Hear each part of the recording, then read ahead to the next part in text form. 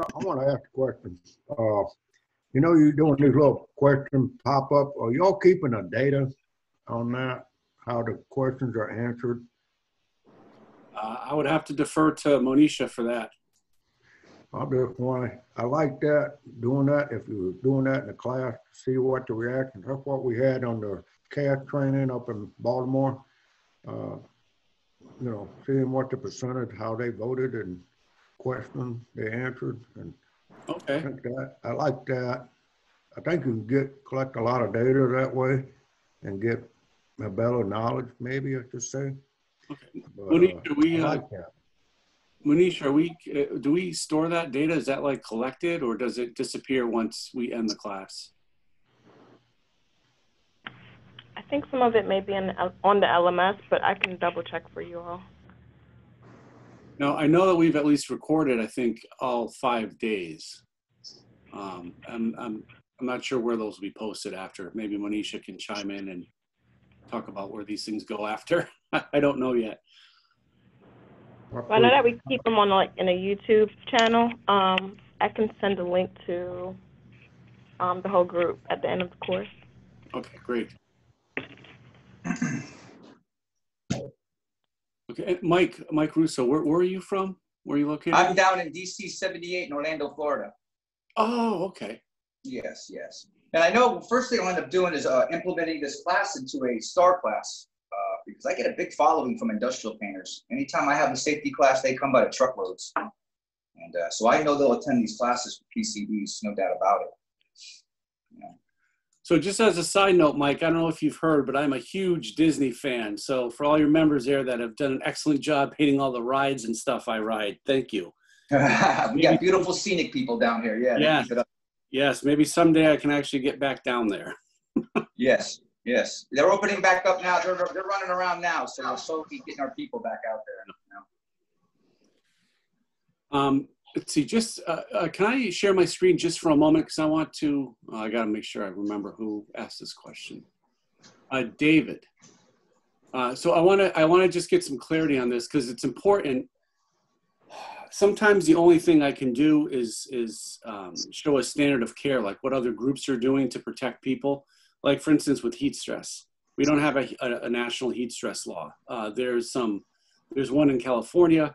Uh, Washington State has some bits and pieces of heat stress, but as far as protecting workers on a national level, there isn't. So what I have to do, I have to piece together a bunch of different groups, including um, the Navy. Like the Department of Navy has heat stress policy for their, uh, you know, their naval naval personnel. Uh, the Department of Energy has some heat stress stuff. Uh, MSHA does. Um, because sometimes we have to hold a employer's feet to the fire. And the only way we can do that sometimes is with regulation. So if we try to do it and then the regulations don't actually uh, buttress up what we're trying to do, it could get a sticky situation. Uh, and I wanted to double check to make sure that I was clear about the HAZCOM standard. So if we can, I'm to share my screen here for a second. What am I doing? Hopefully I can do this. Ah, Safari HAZCOM. Good, good. All right, can folks see this? Yeah. Okay. So this is the very beginning of the HAZCOM standard. Um, and I'm going to look at the scope and application. So that basically in a, in a, a rule tells us who it applies to, what it applies to, and then how can I apply it. So do, do, do, here we get down to 1200 B6. This section does not apply to. Any hazardous waste, such term is defined by Solid Waste Disposal Act. Anything under CERCLA, which is what the PCBs are regulated under through the EPA. So that excludes them right now um, as a hazardous substance. So the only thing that we've got from OSHA that we can get into is we showed the uh, the PELs. So the way that this has to happen, somehow either an employer has to be a good employer and they've got an industrial hygienist. And I can't tell you how many times I've never seen that because it's rare. Um, and also that the person on site's qualified. I just as a side note, I wrote a um, health and safety site-specific plan under the HAZWOPER standard for a uh, construction company that was going to be doing work in San Francisco. And San Francisco's got some very tight standards about um, dust, so construction site dust, uh, and also they, you know, which is which is important because you're doing work in a city. If you're going to be causing a lot of dust and it gets off of the site, what's going to happen to the public, right, and people's cars and everything else. So I was going back and forth with this construction company, and uh, it turns out they weren't union. And they said, "Well, why don't you talk to our health and safety expert?" I said, "Oh, good. I'm going to get somewhere," because they weren't wanting to do what I suggested they do in the plan, even though it was the law. wasn't me saying this. Come to find out, their health and safety expert was a worker that got injured on one of their jobs, who broke his back and could no longer work as a construction worker and I found this out by doing some digging because what this company was telling me, it didn't sound right. So I did some digging. They had a number of OSHA violations. They had this lawsuit, and it was this worker that filed the lawsuit. So this worker became their health and safety expert because he got permanently injured uh, and disabled from this, this working with this company. No training though, uh, was not a health and safety expert.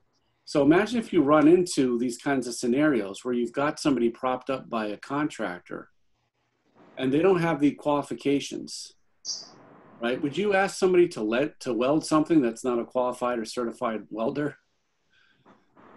Why would you, you know, want to hire somebody that's not a qualified health and safety expert? So you might be dealing with somebody that's a health and safety expert, right, uh, for a contractor or an employer, and they might not be that. Um, so you've got to have somebody that's really trained, uh, you know, and, and, has an educational background with experience for the work that you're doing that would be able to say, oh, wait a minute, you're going to be taking all this linear feet of caulking out of this building that was built in 1965. I think there might be some PCB issues with that. So you're going to have to have somebody who can connect these dots, uh, you know, for your specific job, whatever it is you're doing and then try to weave together any laws to try to buttress protection of workers. Because um, if I only went to HAZCOM, I might be like, oh crap, I'm out of luck here. But how would I even know to use the OSHA standard where they only list a permissible exposure limit for PCBs? How would I get to even sampling for workers? I'd have to have the understanding and experience that PCBs might be there and then convince the, the job owner, hey, PCBs might be here. Look at my list of evidence. 1965 building. You're using. You're talking about working with old caulking. This also might be a hazardous waste issue, and if you dump it in the wrong spot and somebody finds out, you could be really liable and in trouble. What do you think if we did some sampling and some worker sampling to make sure that not above any level? Because you're working at a school here, and you might have somebody drive by and say, "That does, I wonder what's going on there." I'm going to call my local Department of Health and then one thing leads to another. All of a sudden, EPA shows up and OSHA does. That's how it works. So, boss, maybe you might want to we might want to put these protections in place before we get going. That's what I try to do, right? If I have a law that doesn't help me, or no law whatsoever. But you got to make sure that you've got somebody on your side doing that kind of, of stuff. And in most cases, I've seen, unfortunately, um, it's up to unions you know, to be able to push this stuff on this on the job site. Uh, sorry for the rant there, but I wanted to be clear that you know this law helps us with a lot of stuff, mm-hmm. but it push it it, it removes uh, PCBs or something like lead that was already put on a bridge. It doesn't remove new lead. It does that, but it would exclude something that was already put out uh, and used. Um, so uh, anybody have any comments or questions on that uh, information or that the you know the HAZCOM law or how this applies to PCBs? I'd like to know why, if they're so concerned about where we're putting a lead, why aren't they uh, concerned about even knowing about if there's PCBs there? God. Well, you just asked me the million dollar question. It's politics. It, it, it sucks. Um, again, uh, it would be so expensive for school districts and towns and cities to start to clean all this stuff up and do it the right way. But because it's expensive, does it mean we shouldn't do it the right way? Um, it, it, it's it's a crappy thing to discuss, right? I mean, I, I when I first learned about this, I was dumbfounded that schools do not want to test for PCBs in their buildings because once they test it, then the EPA law gets triggered, right? And then they have to do things in a certain way to make sure it's not spread into the public environment. That then also connects to workers doing things the right way. It gets it's going to be very expensive. Um, we've got a bunch of articles that Wayne and I, um, and when we're doing a discussion, I'll see if I can't pull something up that shows what can happen if you don't do it the right way from the beginning. One of the articles I have is from Washington, D.C. The architect of the Capitol was working on, I can't remember what building it was, but it was a building, you know, going along, doing their work. All of a sudden, they found PCBs, and I can't remember how they determined that they had it. Job stopped, and I think it was an extra $100,000 that got added to the job in an extra four months um, because they didn't do it the right way to begin with right? So it, it's expensive, but this is the same thing like with coronavirus. If we just do it the right way now, it's going to be less expensive later. If you plan for PCBs up front and you do the job uh, to abate them properly up front, it's going to cost you a lot less money as a job owner down the road. That's just how it goes, right? Just like, you know, just like your health. You know, if you take care of your health up front, it's going to be some time, might be some money, but if something bad happens to you down the road, it's going to be more time, more money, and God forbid, you know, you might not be here anymore. Um, so that's why, um, you know, Dave, I, I, I don't have any other better explanation unless somebody else can offer something. Well, the other thing I'll, I'll say, Bernie, is where it's not required to be tested, contractors go to their out, asbestos and lead or whatever else. And so it's not a prevalent test by any means. And plus, how many millions, hundreds of millions of pounds did they say there was? I think, you know, Monsanto and all of them are trying to keep this as a deep, dark secret. Class action lawsuits against them, right? Yeah. Look how long the asbestos has lasted, guys. It's lasted a long time, hasn't it?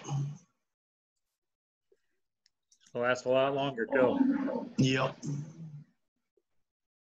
Did, I was looking at that thing. They got PCB and cosmetic, you know, that women use. It- It's in that too. Yeah, there's some countries that actually uses it for beauty products. And cooking oil too, Rick. Yeah, I know the cooking oil, but that just direct deposit right on your skin. I What do mean, you know, think the cooking oil's done to them?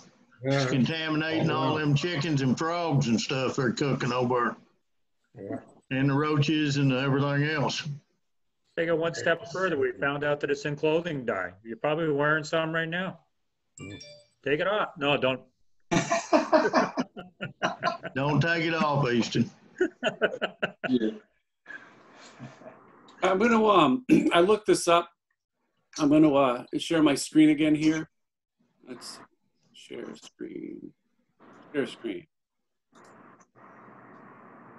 All right, can everybody see this okay?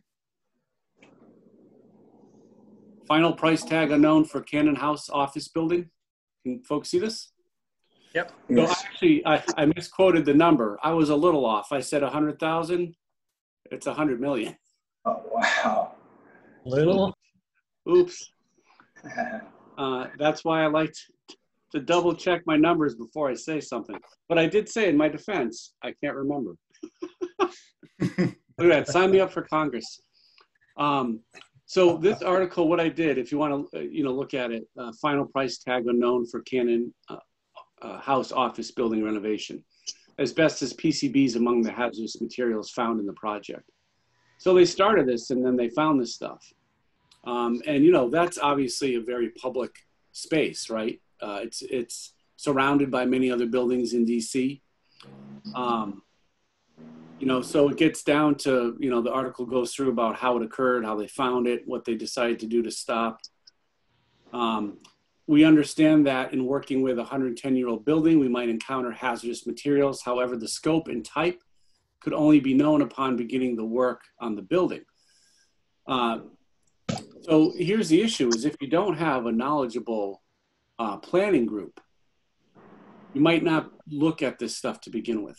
And that's why, you know, a planning group for any project, it doesn't matter if you're in a, in a factory building something new, planning a new process, uh, or doing a construction job. It's a good idea to include workers in the ground floor because workers know the work best. A worker knows the work better than an architect. They might not be, they're just as valuable. They have different skills though, right? Different education, different backgrounds, different abilities to help that project be completed. Um, but how many times do workers actually get to participate in things like this? Right? It's usually like a, a representative from a, a general contractor or a subcontractor goes, whether or not they actually got work experience or not, you know, who knows? Um, but you know, it specifically mentions the EPA, uh, the PCBs during this article. So that that that's a big issue, and there's a lot of articles like that um, that you can bring up if you you know Google the right uh, group of words for PCBs. So it shows you what the issues are, you know, uh, and it, if you don't plan for it and they find, get found out after, it's going to be very expensive. Not to mention, uh, if I was a worker working on that job and I was on there for six months, I would be pretty pissed off that my employer just exposed me to PCBs and asbestos and they didn't know about it, right? Um, I've, I've heard they use dogs to find mercury in, in schools. no kidding. Yeah, uh, dogs. Uh, I haven't heard about that, but it's interesting. I wouldn't doubt it. Their their their schnozzes are uh, was it hundred times more sensitive than ours? My dog always knows when I open up a can of sardines. well, so doesn't the rest of my family, but I guess. Uh, any other uh, discussions about you know moving this kind of class forward and what it means for IUPAT members? Uh, I have a question. Uh, there is any article that shows the, the highest PCB level on, on people? Anybody ever die of PCB? I mean, the high level? Because people are actually eating in other countries, so it must be something So um, bizarre I, like that. I didn't look for this specifically. That's a good question, but we could certainly find something like that, you know, and maybe implement it in this class during the first or second, or maybe the second uh, uh, module when we talk about toxicology and uh, environmental aspects. People have died from PCB related diseases, but as we discussed on uh, that second day, um, it's up to the medical examiner to kind of connect the dots, right? Because an epidemiologist, folks that study diseases and populations, they can only work with the data that they have. So if the data is misrepresented, you know, the example I gave was somebody fell off a ladder in the desert uh, out in Hanford, Washington, struck their head. And luckily, you know, again, not luckily for this worker, but luckily for all other workers to come after, the medical examiner classified it as a death due to heat stress, um, not striking the head. Uh, so if you've got somebody that looks at the pathological reason for pathology for why the person died, if they don't connect the dots that it was a disease due to PCBs, that that's missed. And so that harms the rest of the population that's alive because we're not going to know, right, how to protect yourself or why. So that's a good that's a good question, um, and we can certainly look to something and put you know maybe add a slide into the uh, the second module. Yeah, I Yeah, think that's a great statement for the simple reason it's, it's, you know, the EPA's put it out there, don't eat the fish, it harms wildlife and everything else, but they haven't done or released any studies on what it has or I said they, let me rephrase that. The, they have given us the information about wildlife and fish and things like that, but they haven't followed up to tell the whole story of what it's doing to us. Right. Seems like they care more about the eagles than, than actually human beings. Yeah, and the big problem with all of them guys is none of the government agencies work together. They're always fighting against each other. Have y'all noticed that here lately with the COVID? Jeez. Yep. Yeah, and um, it's it's look, I'm not gonna I'm not gonna make this up. It's expensive to protect workers, but I Without kinda doubt. think we're work we're worth it, right? Um, you know, another example when when Wayne and I uh, and Jim were putting together uh, the worker class, you know, we were looking up some examples in the news. Or it might not have been the worker class. It might have been when we did that uh, FIF presentation. Um, up here in Massachusetts, there is the Merrimack River, which leads into uh, Newburyport, Massachusetts, and out to the ocean.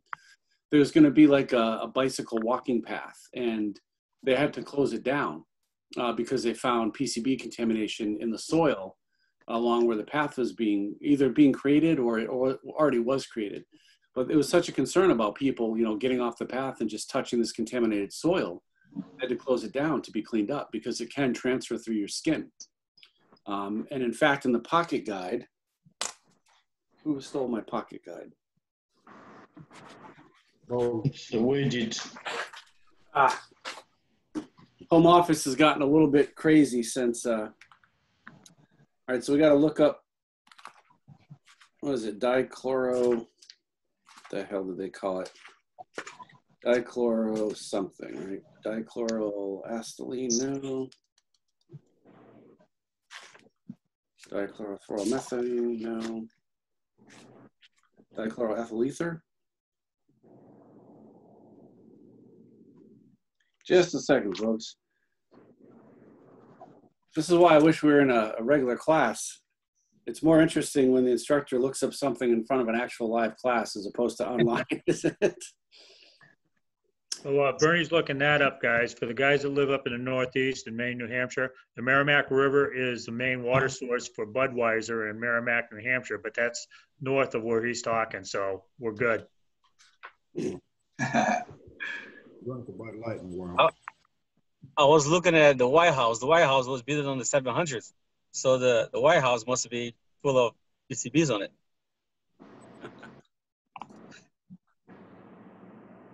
You're right, Tiago, because we had a contractor up here that was actually, the Olson Company was bid on the Capitol Dome a few years back. And they didn't find PCBs because they didn't test for it. But the lead was so highly concentrated that they couldn't use it as recycling. They couldn't recycle the materials because it was so contaminated. So they had to bring new, new materials in every day for the, for the blasting part. Wow. What'd that cost? All right. Nobody seems to know. I think it was a blank check. That was just an excellent example of another instructor jumping in to save another instructor while they were looking to find something. Thank you, Wayne. You're welcome. When we actually get to get together again, I'll I'll buy you a beer. Um, Not Budweiser though. Yeah, you gotta remember, it's gonna take more than twenty-two. Right, that's right, that's right, 21. Uh, so, so 40, both 42% and 54% um, PCBs, and again, OSHA uses chlorodiphenyl. Um, it's actually got a skin exposure limit too, so there's a skin notation. So if this stuff is in your soil, or worse, for a worker, if this stuff's in the caulking and you're just grabbing it off with your hands, it is going to get into your body through your skin, and it is going to damage the skin right? So that's if it's in the soil, if there's kids around, stuff like that, that's very concerning. Um, Uh, Don't forget about the elastomerics too, guys. mm, It's in all, all the elastomerics that I have found. so what are you talking about, Jim? Like gaskets and stuff like that? No, this is actually a concrete coating to coat concrete or roofs.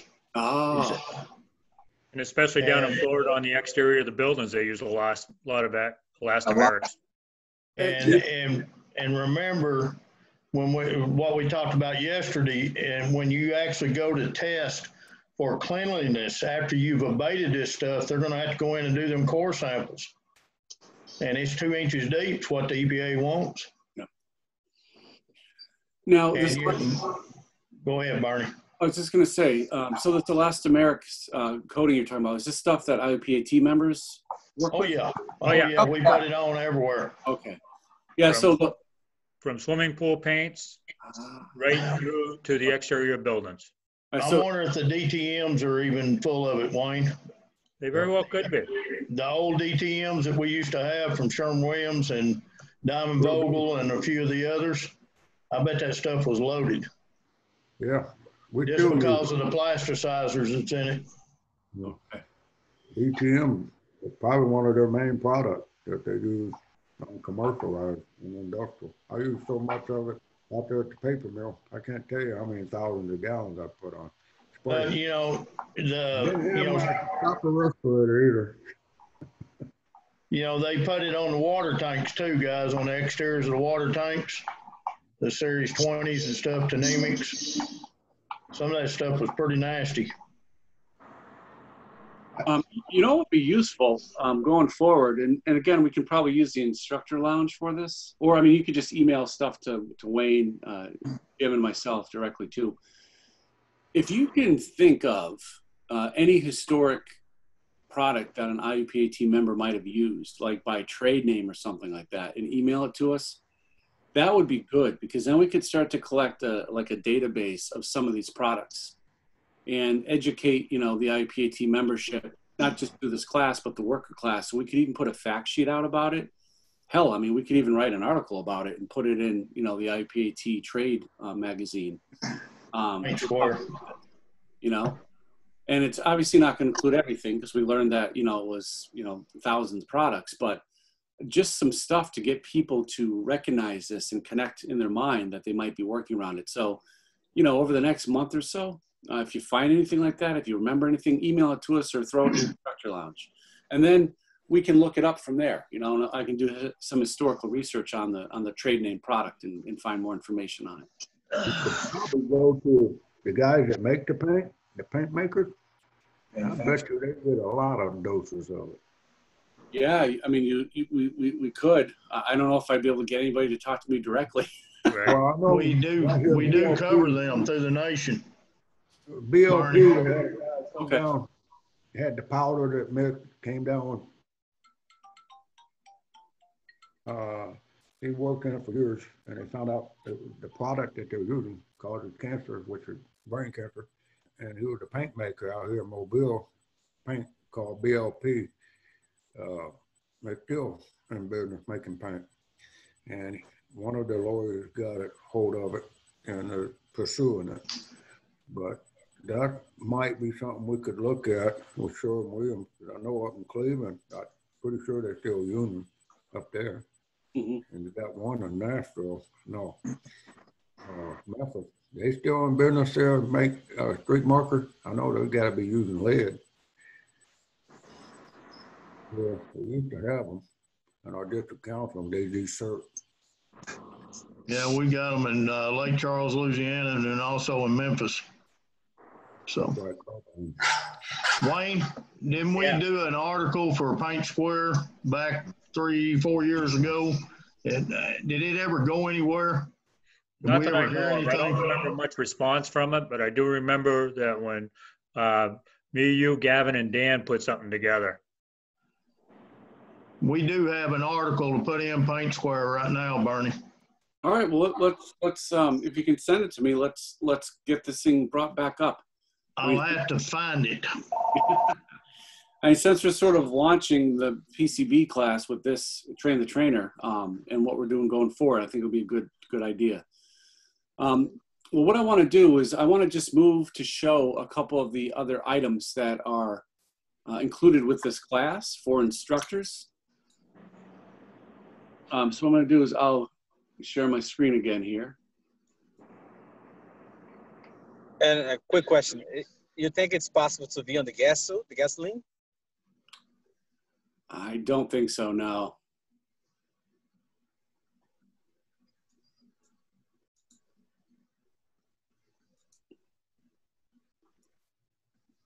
All right, so this here is, um, this is for instructors. This is a short instructor's notes uh, brief. I can't remember what it is, three pages, five pages. It basically talks about what the class is, right? The goals of the class, uh, very it's not going to qualify any any worker who takes it to go and abate PCB, so we don't want to give that impression. Talks about how the course is broken into the four different sections or modules. Course background and key points to understand as the instructor. Uh, it's got a section on course delivery and classroom management. Now, I, I wrote this pre-COVID, so, um, you know, maybe I should add to this uh, note to self about online.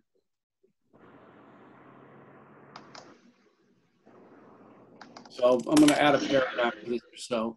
Talks about allocated time, you know, module delivery. Then these are materials that you'll need to teach the class and to be comfortable and confident. So, you know, the actual course agenda, uh, the student manual, um, which I believe is just going to be a printout of, you know, the, the notes, um, the slides, you know, three per page or something like that. Uh, the awareness activities that will either be contained, uh, you know, contained in the manual or just separately. Um, fact sheet packet, awareness instructor manual, assertion evidence PowerPoint presentation, so the thing that we went through, and uh, an awareness test. And I'm not sure, you know, if, if this is gonna stay in or not. And then obviously the, the hard stuff that you need to teach, you know, like a screen, that kind of thing.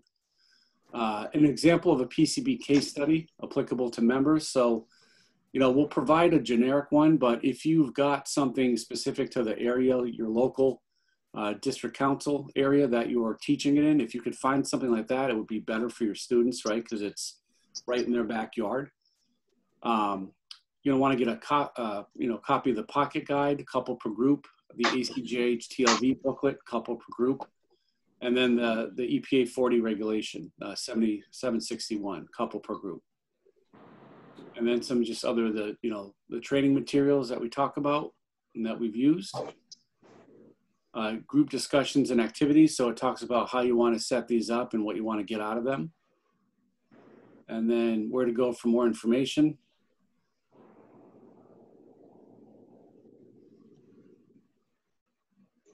and then I'll show the next one that we got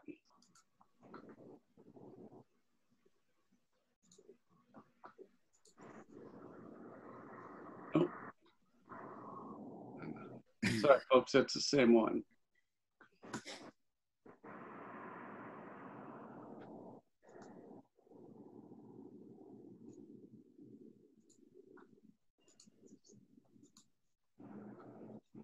All right. This one here is the the uh, instructor's handouts. It's uh it's it's pretty long because what it does is it's got a copy of every slide. And I just remembered we we updated the format, so I'm gonna have to go. We're gonna have to go back and put the new slides in here. Um, but what it is, it's got each slide, and it's got the trainer's notes for each slide. So depending upon how you want to, you know, teach, what your style is, um, you know, you can have this as a paper copy next to you uh, if you'd like. Um, you know, it's got plenty of spots to write your own stuff down. And what it does, it just goes through everything we got. So it's the whole entire awareness class, um, you know, where there are notes, there's notes there for you, etc. So there's those two items. Uh, and then there's a couple of other items that we have included for that instructor packet, like the, uh, the EPA regulation, you know, things like that. Uh, so that's about everything that encompasses the course uh, that you would get to be able to teach the awareness class. Um, you know, I, you can teach it by yourself, but I'm always a proponent of team teaching and stuff like that. It's nice if you've got two instructors. Um, you know, I know that um, the, is it the FTI, IFTI, whatever, whatever the organization is that I'm now a part of for the educational part. Uh, we're trying to do some cross-regional teaching initiatives because since we can use Zoom during this COVID uh, pandemic, so like, for example, the infectious disease COVID-19 and ICRA class that we developed, they're doing cross-regional training where you've got, you know, trainers from different regions of the country in Canada working together to put a class on. Uh, and this is something I think that we could add to that too, right? So you could get together um, and teach this from different areas of the country at the same time. It, it would be nice. And, you know, to have two teachers do it together. Uh, Wayne and Jim, anything to add? Anything I missed? No, but I'm just, I think this would be a good uh, part to open it up to you guys. I have a couple of questions for you. Was there any sections that we, that you felt that we lost you in? Or do we need to emphasize any more points? Or, you know, I'm open up for discussion. I mean, got my big boy pants on. You're not going to hurt my feelings if there's something that you felt we lost you on or we need to spend more time on? Let me ask you something about the testing. Um, You, you said that uh, methods uh, 9079 was for uh, transformer oils. And then you had method 9078 for soil. Uh, The 9079, does that do both bulk and liquid, that test? Oh, let me get to the page here. Or was there another one for liquid and another one for bulk, and then there was a soil one? Yeah, so the, the 9079 is for transformer oil only, and the 9078 is for soil only. Uh, there would be, I don't know if that would be, so the, the soil basically would be bulk waste, you know, because you would have the soil and whatever contamination, Okay, paint, et cetera, might be mixed in with that, or Okay. oil that dripped in with that. If you're looking at doing transformer oil only, you know, you would Oh. use that one. Uh, as, as opposed to that, what they would do for, you know, taking the core samples, I would have to look that one up. okay, yeah, because if we're testing caulking or something, that would, I would assume that'd be different than doing the soil. So, okay.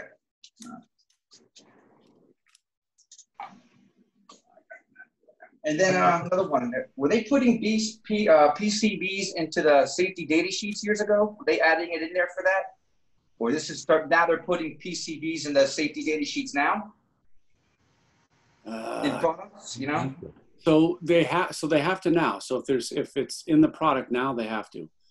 Okay, so they're just starting to do that now, but years ago they did not. Well, they did, but remember they were under different trade names. Right. Okay, And, uh, you know, I think the HAZCOM standard, I can't remember when it was promulgated. I don't know if it was 78 or 84, somewhere around there. But you might have missed um, a lot of products, right? And we all know the joke about material safety data sheets, they were terrible, right? Half of them had missing information, the other half had incorrect information that was on there. So going back and trying to find historical stuff, we can try uh, but it might be a, a, a dead end. And also, to remember, they had, um, gosh, I haven't had to refer to it now for so long because we had GHS on the book since 2012. Um, there was a percentage where you would not have to report carcinogens. right, And back then, uh, PCBs was not carcin- uh, considered a carcinogen. okay. Well, Bernie, I want to take it also, would you refer to uh, asbestos as na- natural mineral fiber now? So they got their, industry has their ways of disguising the bad stuff. Wording. Right.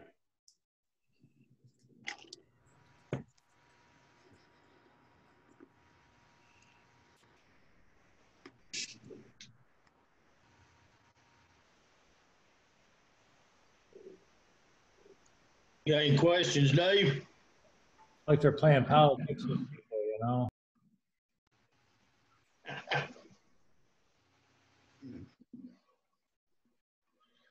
Oh, So I guess, guys, what'd you think of the presentation? Did you like it? Do you think it's worth, worth the rollout? I think it's a good Yeah. start to get the information out. I still like that idea that asking those questions and seeing what the percentages and keeping the data. And also maybe a questionnaires and when the, uh, probably mostly apprentices and they're gonna, when you do put on a class, questionnaires and collecting that data, maybe job sites, uh, specific.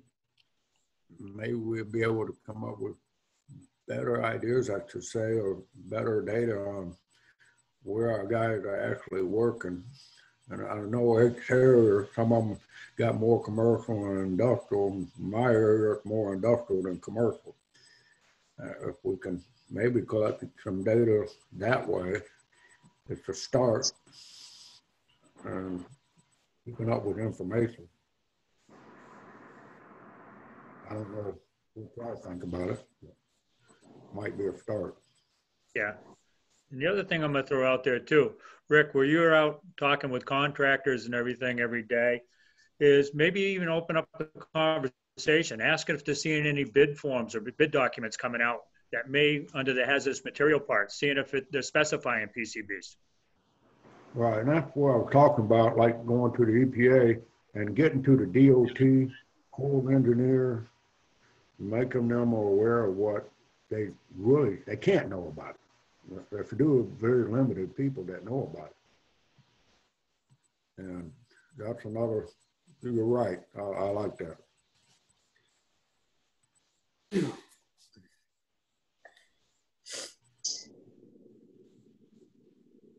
How about you, Lambert?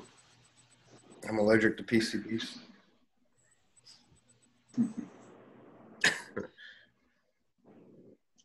I think we're gonna have to get some uh, uh, legislation passed first before they do anything, aren't they?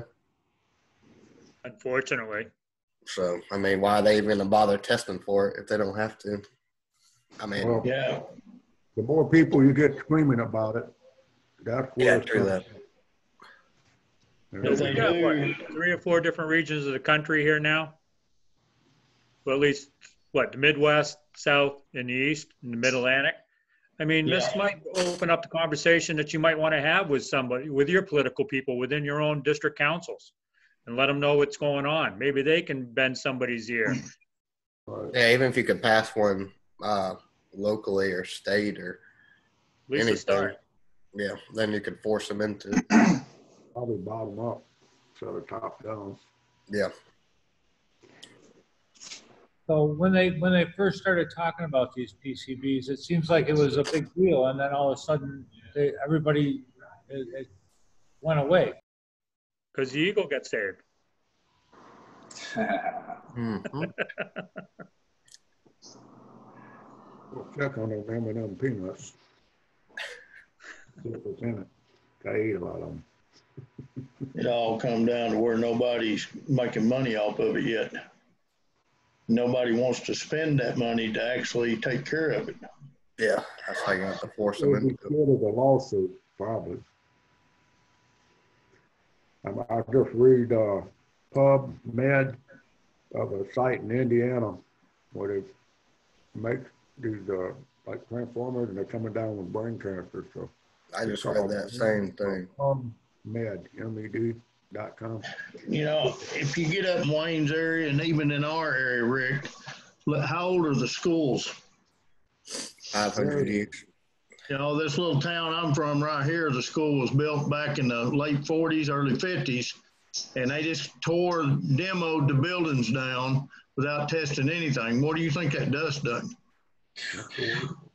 Demo's always the worst. Yeah, How many people are dying from 9/11? there's still people dying from it. Bill, Yeah, that's what I'm talking about. You know, every day you see on the news, the guys, with masks was down here and they had a little tape running across there. I always tell my students, I, why would you want to go over there and talk to them? Got a mask on and that's the invisible line right there and that's gonna stop it. Uh, I tell them, don't go over there. The PCBs, uh, way worse than the lead and asbestos now that I'm, I'm more aware of it. Absorbing through your skin and more than PCB. It's something you need to look at too. This is an awareness class. Right. So basically, we're gonna get them aware of it. Barney's already done, finished the workers course pretty close, hadn't you, Barney? Yep.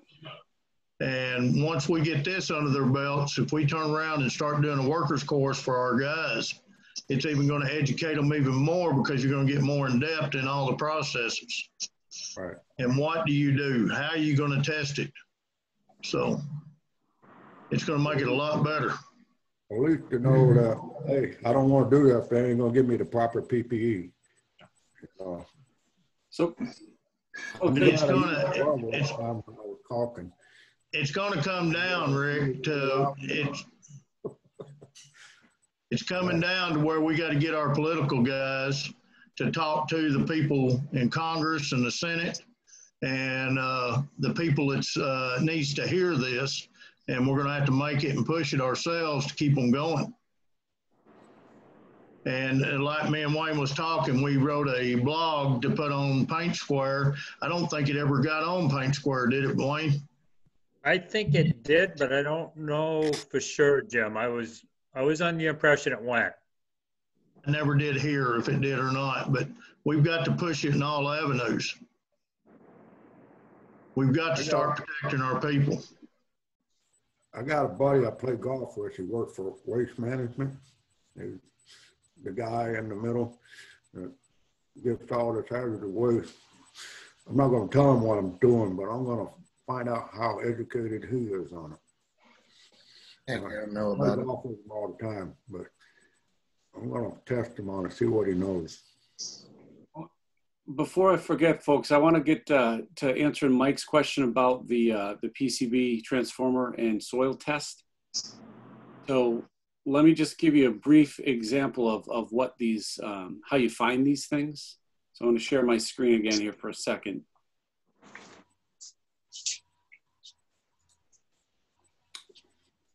All right, so this here is the, the EPA SW846 compendium of sampling criteria. And this includes sampling for a bunch of different things, a bunch of different ways. So both of those tests on the slide were under the 846 compendium. One was for transformer oil, one was for uh, soil, uh, but the one that we'd want to find if you're testing for caulking or bulk waste would be different. But just as an example, it was 846, was it, 9,000 something? So what I would do is here are the different series of tests. That one for the oil, transformer oil and soil was in the series 9000. Here we go. So it was 9,078 screening for uh, PCBs in soil and 9,079 uh, screening for PCBs in transformer oil. So they have, um, you know, the test for bulk waste here for chlorinated products as well. So, you know, I could take one of those and add it to the slide too. Um, and then there's other methods for doing the sampling. Again, this is, you know, the worker class, but you can do wipe samples if it's a non-porous surface, if it's porous. Jim already mentioned, you gotta, you know, dig in two to five centimeters, you know, to make sure that you can get enough of that stuff that might have absorbed the PCB oil. Does that help, Mike? Yeah. Okay. Points me in the right direction, at least, you know? All right, uh, Jim and Wayne, um, anything else we need to cover or uh, discuss before we close out? No, I think we've pretty much nailed everything and, uh, you know, I think the guys have given us a lot of feedback. So that's a big help. I think you did a good job for for starting. Uh, I got a good awareness. I think it's gonna be helpful. So Y'all did a good job and keep it up. Thank you. Yeah, and again, you know, if you're teaching it online like this, um, Wayne, Jim, and myself were talking about it this morning. It's possible you could combine, you know, some of it into, you know, I don't know, a four-hour day and give a break in between and stuff. But it's probably better just to keep it like it was. You know, uh, if you're just doing the awareness four two-hour days, if you only run an hour and a half because you got a smaller class and because it's online, uh, you know, it's probably better than trying to have somebody sit through a, you know, a four hour planned session, even if you only make it three hours. Uh, if this was on uh, in person, you know, with a lunch and some breaks, um, even with, with 11 folks like we had, you'd probably be finishing up around seven hours or so. If you have a bigger class, you know, it'd probably stretch it closer to the eight hour mark. All right, anybody have any uh, parting comments or questions?